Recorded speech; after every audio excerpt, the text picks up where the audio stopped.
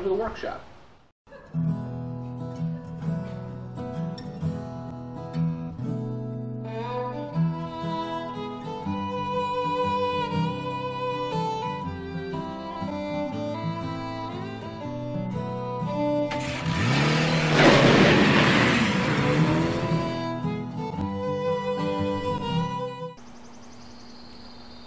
Alright, in this edition of Amateur Filmmaking on a Budget, I'm going to show you how to fix your immediate audio problems for basically, let's say, $10 or less. Now, the first thing I'm going to show you is what's called a portable mic. Uh, if you've ever seen a reality show, you see people with the microphone, they're about this big, uh, they're usually on the back. Uh, people pretend they don't see them, they totally see them. However, if you're doing anything like this, you basically need something you can relatively hide somewhat easily but of course, you don't want to spend literally four to five hundred dollars on those weird mics. There is a way around this.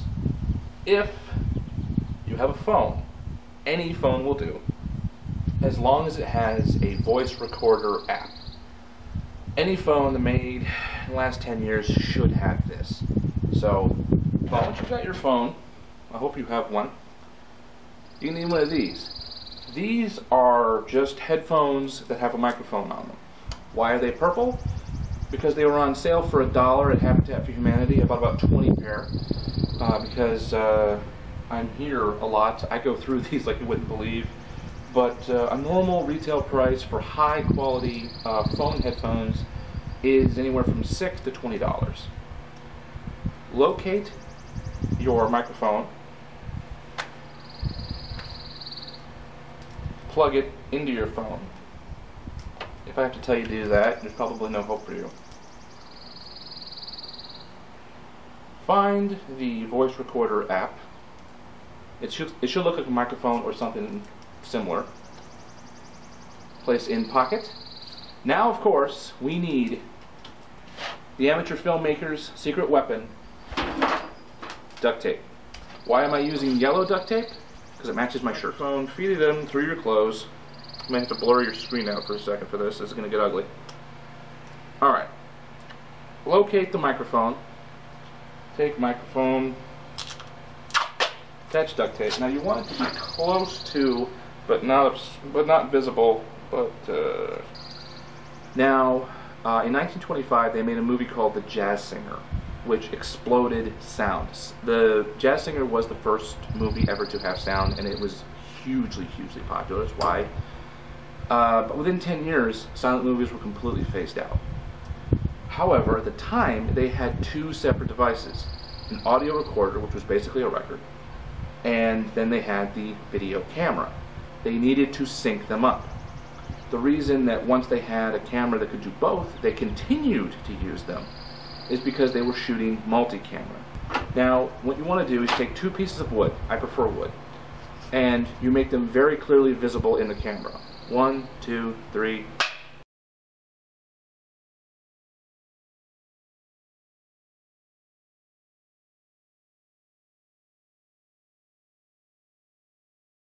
Alright. Now you have a sharp sound which in digital editing now will actually show up in a very visual way, that basically a big spike. Then you have uh, that, then you have the visual cue of the actual frame in which it connects. That is how you sync your video from your audio. This is how a carry-on mic will work. Alright, now that you've got your uh, brilliantly hidden portable mic setup, you have to do what's called a boom mic. Uh, basically, it's a microphone on what's called a boom or an extended arm. People will literally charge you hundreds, if not thousands of dollars on this particular piece of equipment. The, the portable mics are can range anywhere from 200 to 2000. A boom mic can literally be a $10,000 thing. I am not paying 10 grand for a microphone. However, there is a very, very affordable, very abundant means in which you can get a microphone that you can extend to this piece of PVC. Now, of course, once again, we're going to need the amateur filmmaker's secret weapon, duct tape. And we're obviously going to need a microphone.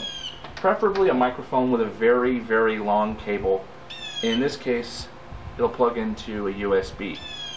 What you want to do is you have your sound person, or, you know, if you're by yourself, which I sadly am today, plug it into your laptop. Now, probably wondering, where did I get a high quality microphone with a profoundly long cord?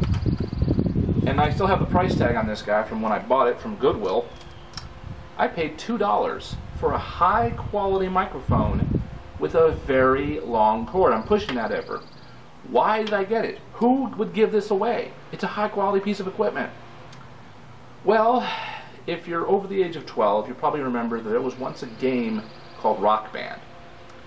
There was uh, basically it. It allowed you to pretend you knew how to play the guitar. It was available on Xbox 360, PlayStation, etc.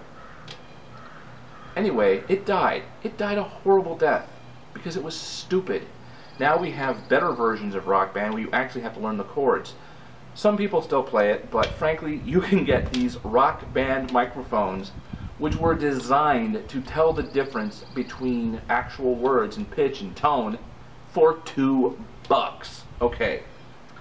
Now, you take your microphone and you attach it, give it about, I'm going to say, between a foot to two feet of space from your boom, in this case, uh, a PVC pipe. I prefer the PVC because it's light and you can buy them secondhand pretty easily as long as you don't care what they look like. I don't.